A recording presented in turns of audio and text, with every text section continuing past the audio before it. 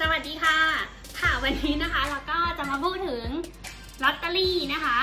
เราไม่ได้เป็นแม่ค้าขายลอตเตอรี่นะคะ เราเป็นแค่ซื้อมาเพื่อลุ้นนะคะ ซื้อมาเพื่อลุ้นนะคะค่ะพรุ่งนี้นะคะวันที่ 16 พฤษภาคม 2563 นะคะ ถ้าใครฟังคลิปนี้จนจบนะคะ ขอให้ทุกคนถูกรางวัลที่ 1 นะคะ ขอให้ทุกคนโชคดี ขอให้ทุกคนได้รางวัลไปพร้อมๆกันนะคะ ขอบคุณนะคะที่ รับชมแล้วก็มาฟังคลิปนี้นะคะ ขอให้ทุกคนโชคดีเจอกันใหม่ค่ะ ขอบคุณค่ะ บ๊ายบาย